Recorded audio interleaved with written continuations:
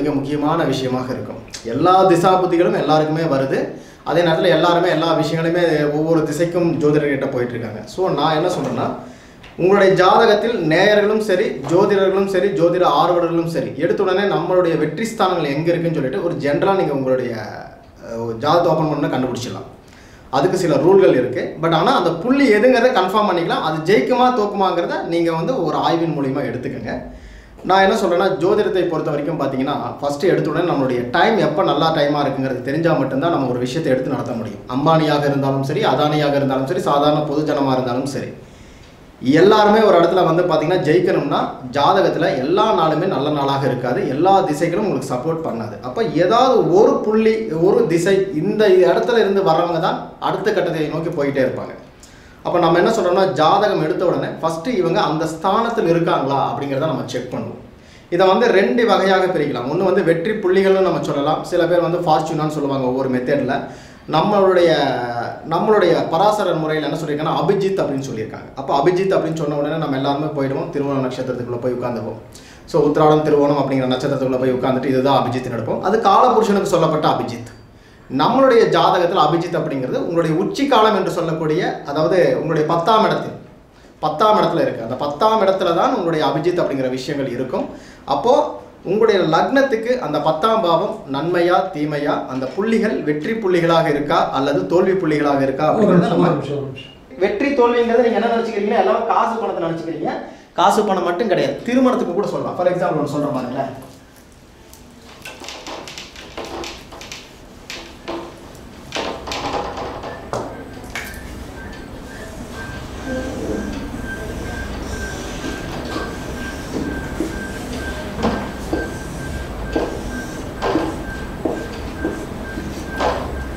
இது சொல்றதுக்கு முன்னாடி மறுபடியும் ஒரு சின்ன ஒரு கிளாரிஃபிகேஷன் கொடுத்துட்றேன் அபிஜித் அப்படிங்கிறது வந்து பார்த்தீங்கன்னா இருபத்தி ஏழு நட்சத்திரங்களும் அபிஜித்களாக வேலை செய்யும். பத்தாம் பாவங்கிறது ஒவ்வொரு பாவத்துக்கும் பத்தாம் பாவம் வேலை செய்யும்.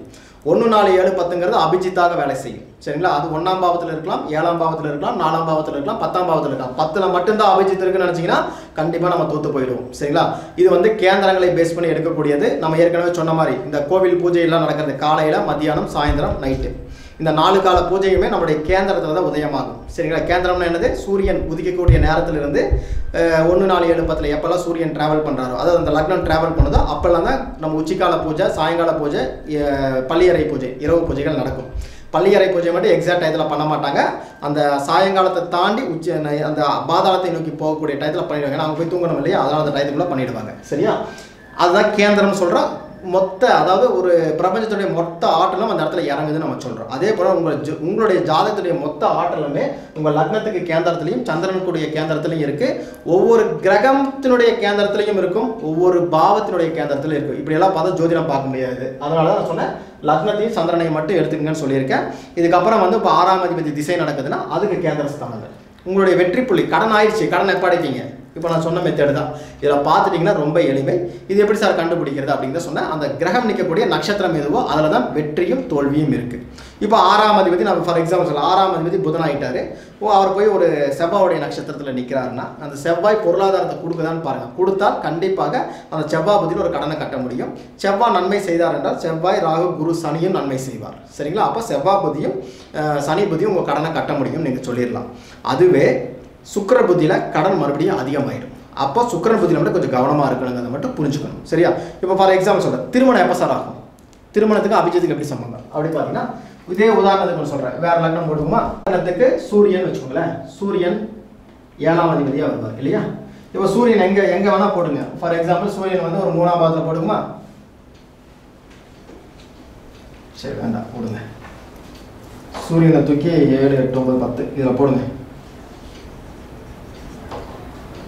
சூரியன் வந்து புதனுடைய சாரத்தில் நிற்கிறார் அப்படி வச்சுங்க. உங்களுடைய திருமணம் எங்கே சார் நடக்கும்? எடுத்தோன்னே என்ன சொல்லுவாங்க குரு பார்வை இருக்கா? அவருக்கு திருமண காலம் வந்துருச்சா? வயசு அவ்வளோங்க இதெல்லாம் கேட்கவே வேண்டாம். அவருடைய திருமணம் அப்படிங்கிறது சூரியன் புதன் ராகு. இந்த திசையில தான் நடக்கும் அல்லது இந்த திசையை இந்த வீட்டில் நின்று ஒரு கிரகம் திசை நடத்தணும் அல்லது இந்த சாரத்திலேயாவது ஒரு கிரகம் இருக்கணும். இல்லாமல் திருமணம் கிடையாது. ஃபஸ்ட் இதுதான் நீங்கள் முடிவு பண்ண வேண்டியது. சில பேருக்கு திருமணமே ஆகாது. காரணம் என்னன்னு பின்னாடி சொல்கிறேன் சூரியன் புதன் ராகு. ஏழாம் அதிபதி சூரியன் நீங்கள் பத்தில் போய் உட்காந்துருக்காரு கல்யாணம் ஆகுமான்னு கேட்டு வந்தாங்கன்னா நீங்கள் வந்து சூரியன் வந்து நீர் நீர் வீட்டுக்கு போயிட்டார் புதனுடைய வீட்டு போயிட்டார். இதெல்லாமே பார்க்காது. ஃபஸ்ட்டு இந்த திசைகள் நடக்குதான்னு பார்த்துங்க இந்த திசைகள் நடந்து சூரியன் உங்களுக்கு உயிராக வேலை செய்தால் திருமணம் உண்டு. உயிர்னா இங்கே என்ன அர்த்தம்னா உறவு ஸ்தானம்னு அர்த்தங்க. பொருள்னா காசு பணம் மட்டும்தான். மெட்டீரியல் லைஃப் மட்டும்தான். இதெல்லாம் வராது. ஏன்னா உறவு இதில் வராது. அப்போ சூரியன் உயிர் ஸ்தானத்தை கொடுத்தால் சூரியன் கண்டிப்பாக திருமணத்தை செய்து வைக்கும். இது இது உயிராக வேலை செஞ்சுச்சுன்னா சூரியன் திருமணத்தை கொடுக்குதுன்னா இதனுடைய திசை புதன் திசை அல்லது புதனுடைய நட்சத்திரத்தில் நின்னது நின் நிற்கும் போது தான் ஒரு கிரகம் திருமணத்தை கொடுக்கும். அதுக்கு முன்னாடி கண்டிப்பாக இல்லை. ஒன்று புதன் வீடாக நின்று கிரகம் திசை நடத்தணும். அல்லது புதனே திசை நடத்தணும் அல்லது புதன் சாரத்தில் நின்று ஒரு கிரகம் திசை நடத்தணும். நடத்தினா திருமணம் உண்டு. ரொம்ப சிம்பிளாக முடிச்சிடலாம். இப்போ உதாரணத்துக்கு சூரியன் ஃபார் எக்ஸாம்பிள் இவர் வந்து ஒரு கேது நட்சத்திரத்தில் பிறந்திருக்காருன்னு வச்சுக்கோங்களேன். கேது சுக்கரன் சூரியன். கரெக்டான ஒரு திருமண வயசு வந்துடும் சூரியன்லேயே பண்ணி கொடுத்துருவாரு. இல்லை சார் அவர் பிறந்ததே சூரியன் நட்சத்திரம் சார் அப்படின்னு சொல்லிட்டீங்கன்னு வச்சுக்கோங்களேன். சூரியன் சின்ன வயசுலேயே கல்யாணம் ஆகுமா? நம்ம பண்ண மாட்டோம். பால்ய விவாகம்லாம் இருந்தது இப்போ கிடையாது. அதனால் சூரியன் விட்டுருவோம். சூரியன் சந்திரன் செவ்வாய் ராகு. இப்படி போகும். இதை நீங்கள் கடந்து வரப்ப திருமண ஏஜ் ராகுல வந்துடும் நல்லா கேட்டுக்கங்க. சூரியன் நன்மை செய்தால் திருமணத்துக்கு புதன் திருமணத்தை கொடுப்பார் நம்ம சொல்லிட்டோம். இதுதான் அபிஜித்து. இதுதான் அதனுடைய திருமணத்தை செய்து வைக்கும். இப்போ ராகு வந்துட்டார். என்ன ஆகுங்கிறீங்க இங்க திருமண முறிவு வரும். இங்க திருமணம் முறிவு வரும். இரண்டு திருமணத்தை செய்யக்கூடிய யோகம்னு அர்த்தம். திருமண முறிவுங்கிறது ராகு வந்துட்டாருன்னா திருமண முறிவு. ஏன்னா இது திருமணத்தை கொடுத்தால் இது பிரிச்சு வச்சிடும் நல்லா பார்த்துங்க நல்லா திருமணம் செஞ்சு நல்லா போயிட்டு இருபது வருஷம் கழிச்சு டைவர்ஸ் வாங்குறவங்களாம் இவங்க தான் சரிங்களா? ஏன்னா ராகு வந்து இது உயிர் ஸ்தானமாக வேலை செஞ்ச திருமணத்தை கொடுத்தால் சூரியன் புதன் சப்போர்ட் பண்ணுவார். ராகு மொத்தமாக பிரித்து வைக்கும். சில பேருக்கு என்ன பண்ணும்னா ராகு நல்ல ஸ்தானத்தில் உட்காந்து கணவன் மனைவி வேலை விஷயமா பிரிஞ்சிருப்பாங்க. இல்லை வேறு ஏதாவது ஒரு காரணம் பிள்ளை கல்யாணம் பண்ணி வச்சிட்டேன் பிள்ளை வீட்டில் போய் கொஞ்ச நாள் இருந்துட்டு வரேன்னு கிளம்பி போயிடுவாங்க. இந்த கெட்ட காலத்தில் அது மாறி போயிடும். ஆனால் பிரிவினை என்பது கன்ஃபார்ம் இது சில பேருக்கு மரணம் வரைக்கும் கொண்டு போய் விட்டுரும். சரிங்களா? அதனால் கவனமாக பார்த்துக்கணும். அப்போ நாங்கள் என்ன சொல்லுவோம்? ராகு சில கல்யாணம் பண்ணலாம் கல்யாணத்தை கொடுக்கும். ஏன்னா இதோட விஷயங்கள் எல்லாமே பண்ணும். ஆனால் பிரிவினை என்பதை ராகு நூறு பர்சன்ட் கொடுத்துருவார். சரிங்களா?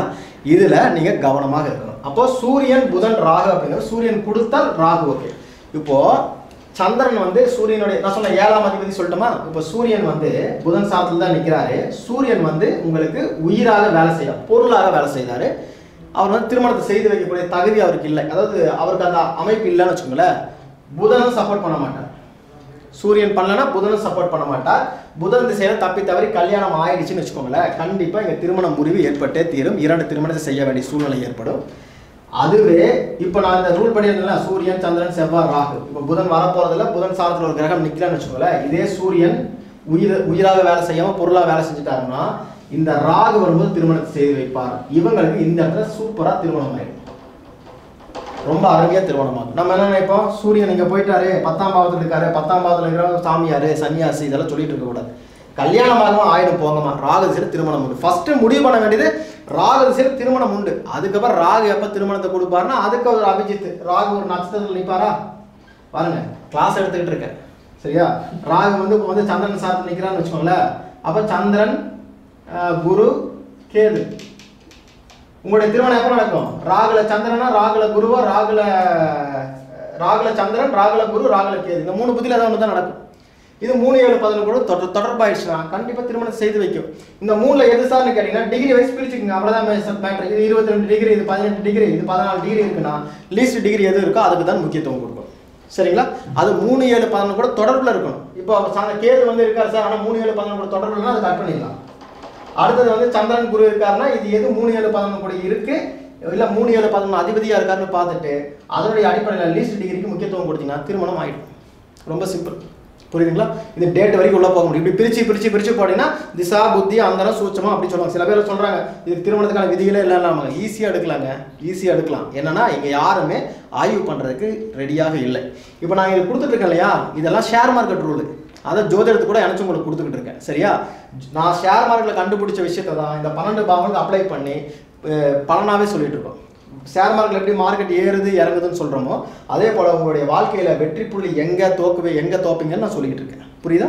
ஸோ திருமணம் ஆகணும்னா எப்போவுமே எடுத்த உடனே குரு வந்துட்டாரா சனி வந்துட்டாரா புதன் பார்க்குறாரா இல்லை கெட்டு போயிட்டாரா நீசமாயிட்டாரா வக்ரமாயிட்டாரா இந்த விஷயங்கள்லாம் மறந்துடுங்க. வக்ரமானாலும் நீசமானாலும் ராகுகேது சாரம் வாங்கினாலும் மறைஞ்சு போனாலும் திருமணம் உண்டுன்னா உண்டு. அதுக்கப்புறம் அவன் கஷ்டப்படுறான்னா நல்லா இருக்கணுங்கிற பாவம் சொல்லும் அது வேற. ஃபஸ்ட்டு அவன் என்ன கேட்குறான் நீ திருமணமான கஷ்டப்படுவ அதனால தான் திருமணம் ஆகலை. அப்படி சொல்லக்கூடாது. திருமணமாய் கஷ்டப்படனா திருமணமாய் கஷ்டப்பட்டோம் என் ஃப்ரெண்ட் ஒருத்தன் கேட்டான் டே நானும் ஆரம்பத்தில் இருந்த ஜோதிடம் சொல்லிட்டு இருந்தேன். டேய் இல்லைடா உனக்கு திருமணமே ஆகலைன்னா அதுக்கு ரீசன் வந்து நீ கஷ்டப்படக்கூடாது கடவுள் முடிவு பண்ணிட்டாருன்னா இல்லை இல்லை நான் கஷ்டப்பட்டுக்கிறேன். எனக்கு திருமணம் மட்டும் செஞ்சு வை அப்படிங்கிறான். எங்கே போகிறது முடியாத விஷயத்துக்கு நம்மளாம் ஒப்பே தான் புரியுதுங்களா? ஆனால் விதிப்படி எடுத்தீங்கன்னா இருக்கா இல்லையான்னு சொல்லிடலாம். எப்போ நடக்குங்கிறது சொல்லலாம். சில பேர் வந்து ஐம்பத்தஞ்சு வயசில் கல்யாணம் பண்ணுறாங்க நான் அப்படி ஒரு ஜாதகம் எடுத்து கொடுத்தேன். உங்களுக்கு இப்போ கல்யாணம் கிடையாது. ஐம்பத்தஞ்சு வயசு ஐம்பத்தி ரெண்டுலேருந்து ஐம்பத்தஞ்சுக்குள்ள கல்யாணம்னு எழுதி கொடுத்துருக்கேன். இன்னைக்கு வரைக்கும் கல்யாணம் கிடையாது. ஆறு ஏழு வருஷமாக பார்த்துட்டு இருக்கேன். அவங்களும் மாதம் மாதம் வர்றாங்க. மாதம் மாதம் இதே தான். மாதம் மாதம் எனக்கு பழைய இடத்துக்கு போயிட்டு இருக்காங்க புரியுதுங்களா? விஷயம் என்னன்னு கேட்டிங்கன்னா இந்த ரூல் அப்ளை ஆகாமல் இங்கே தலைகீழ நின்னால் ஆகாது. பெரிய பெரிய சினிமா ஸ்டார்ஸை பார்த்துட்டு இருக்கீங்க. பெரிய பெரிய அரசியல்வாதிகளை பார்த்துட்டு இருக்கீங்க. அவங்களுக்கு கேட்டால் பொண்ணு கிடைக்காதா? ஏன் கிடைக்கல? பார்த்துக்குங்க. திருமணம் தான் மற்ற விஷயங்கள் எல்லாம் அவங்க தனிப்பட்ட இது சரிங்களா? ஏன்னா விஷயம் வந்து ரொம்ப சிம்பிள் ஒவ்வொரு பாவமும் வேலை செய்யும் போது இந்த அபிஜித்துக்கள் வேலை செஞ்சுட்டே இருக்கும். மரண பாவம் வரைக்கும் வேலை செய்யும். நான் சொன்னது தெரியுமா, இந்த பத்தாம் பாவம். பத்தாம் பாவம் மரண பாவமும் கூட. மரண மரணம் மரணத்துக்கு ஒப்பான கண்டம். வெற்றி புள்ளியாக இருந்தால் வாழ்க்கையில் ஜெயிக்கலாம். இல்லைன்னா தோல்வி. சரிங்களா? இது உயிர் ஸ்தானமாக வேலை செஞ்சால் உயிரை கொடுத்துட்டு பொருளாதாரத்தை மொத்தத்தையும் அள்ளிட்டு போயிடும். அதுவே பொருளாதாரத்தை கொடுத்தால் உயிர் சாணங்கள் சம்மந்தப்பட்ட விஷயங்கள பிரச்சனைகள் வரும். செத்து போயிட்டீங்கன்னு சொல்ல வரல. ஃபார் எக்ஸாம்பிள் சொல்கிறேன் சரியா? சரி இப்போ பாருங்க. நிறைய பேர் வந்து ஷேர் மார்க்கெட் பற்றிலாம் கொஞ்சம் சொல்லுங்க ஜி